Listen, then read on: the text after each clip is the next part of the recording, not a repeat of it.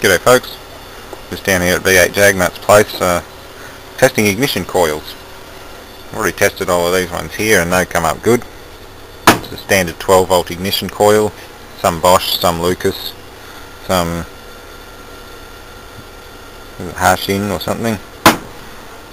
They're electronic ignition coils, these are regular distributor coils, and this is an antique tractor coil.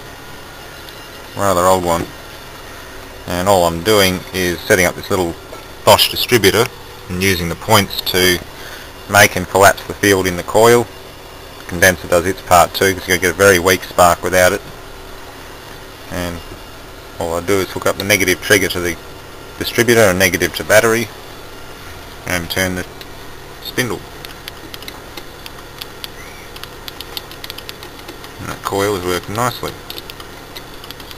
Funny connection here so it's a bit erratic, but it is working. I'm also using a ballast resistor.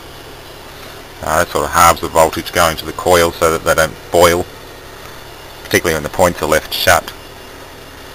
That's always wise. If it says use with resistor on the coil, use it with a resistor. I've also been given this coil to play around with at home.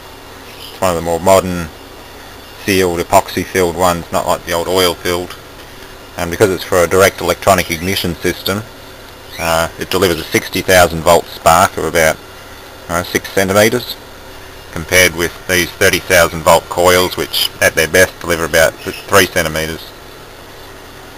So should be a fun little project one day.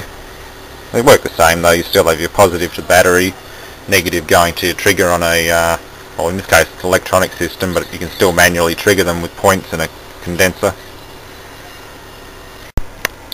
Here's another look at this coil. Not sure how old it is, he said it's tractor. It's obviously been painted. No markings on it anymore because it's all been painted over. That should go well. It's one of the few coils he's given me for my engine projects. I'm going to end up with a couple of these. So thanks for watching.